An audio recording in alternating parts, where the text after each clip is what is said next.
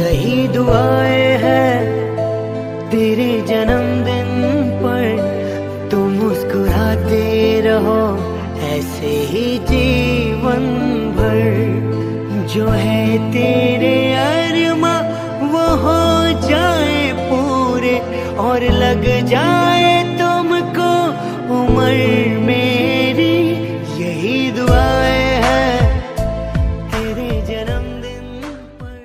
Guys अगर आपको कोई भी वीडियो बनवानी है तो फिर आप कांटेक्ट कर सकते हैं। आपको डिस्क्रिप्शन में सारी कांटेक्ट डिटेल्स मिल जाएगी एंड आपको स्क्रीन पे भी यहाँ पर व्हाट्सअप नंबर दिख रहा होगा, आप उससे भी हम पे कांटेक्ट कर सकते हैं।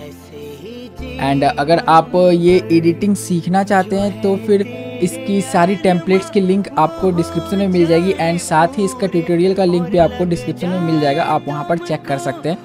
तो जल्दी से चेक कीजिए।